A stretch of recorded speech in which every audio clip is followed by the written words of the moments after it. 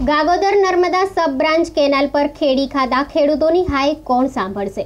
અવારનવાર નર્મદા મુદ્દે Gagodar sub branch canal પર ખેડી ખાતા ખેડૂતો દ્વારા પાણી બાબતે કરવામાં આવતી રજૂઆતો બહેરા કાને અથડાતી હોવાની રાવ સાથે ચૂંટણી કવરેજ માટે નીકળેલી માશાપુરા ન્યૂઝ રાપરની ટીમને ગાગોદર અને સાંઈથી ભીમદેવકા સુધી પહોંચતી ગાગોદર સબ બ્રાન્ચ કેનાલના ગાગોદર સાયફ્લોન પાસે મળી ગયેલા. અનેક ખેડૂતોએ નર્મદા નિગમના નિર્ભીક કર્મચારીઓ દ્વારા એક તો પૂરું પાણી છોડવામાં નથી આવતું અને આવે એ અમારા સુધી પહોંચે એ પહેલા અમુક ભ્રષ્ટ કર્મચારીઓની મિલીભગતથી ચોરાઈ જતું હોવાની ફરિયાદ સાથે અહીં પૂરતું પાણી ન મળવાના કારણે ગાગોદર, કાનમેર, ધાણીથર એની આજુબાજુમાં આવેલી અનેક વાંઢોના ખેડૂતોએ લાખો રૂપિયાના રોકાણ કરીને વાવેતર કરેલ એરંડા, જીરું, રાયડો, વરિયાળી જેવા પાકો ઉગવાથી પહેલા મુરઝાઈ રહ્યા છે.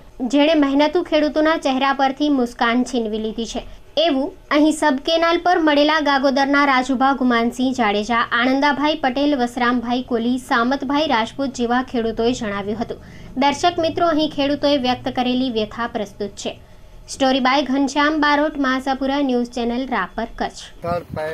જેમને અંડા રાયડો, જીરું વરિયારી વિવિધ પાકોના વાવેતર કરી અને પાણીની રાહ જોઈને બેઠેલા ખેડૂતો અહીં અવારનવાર, એક તો આ સાકરોનમાં વારંવાર કચરો ભરાઈ જતો હોવાના કારણે આગળ પાણી નથી જતું, એ મોટો પ્રશ્ન છે. તો ગાગોદરની આજુબાજુના એટલે કે ઘાણીથાર કામમેર એની આજુબાજુમાં આવતી વાંધો અને ખાસ તો ગાગોદરના ખેડૂતો આપણી સાથે છે અત્યારે.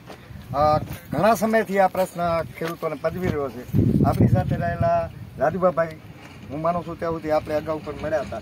હજી આ પ્રશ્નનો તમારો હલ થયો હું દેખાતું નથી. શું કહેશું પંદર દિવસ પહેલા અહીંયા ગીતાજી હાકી ગયા, પણ હજી નિકાલ થયો નથી. અને ઉપરથી પાણી પંદર દિવસ પહેલા એક રેલો આવ્યો હતો અને અત્યારે સાહેબ એમ કહે છે કે સવારે આવે ને સાંજે આવે ને લેવલ વધે ને ઘટે. અમને પાણી મળે એવું દેખાતું નથી. અને એરંડા જીરું ને રાયડો ને આ બધો પાક અમારો નિષ્ફળ જાય એમ છે. હજી પહેલું પાણી નથી મળ્યું એને. અને હજી સાહેબો એમ કહે છે કે સવારે આવે ને સાંજે આવે. અને છોડવાની વાત તો રાજભાભાઈ લગભગ હું માનું આપણે મહિના દોઢ મહિના પહેલા જ્યારે સ્ટોરી આપણે મૂકી મા ન્યૂઝમાં ત્યારે પણ આ પાણી છોડવાની વાત તો થઈ હતી. થઈ હતી. તો મતલબ કે હજી નથી હજી આવ્યું. જી. અને આજે મેં સવારે પટેલ સાહેબને ફોન કર્યો હતો. એ લેવલમાં તો અમે કાંઈ સમજી નહીં. અમને તો અહીંયા પાણી મળે ત્યારે અમને ખબર પડે કે પાણી મળ્યું.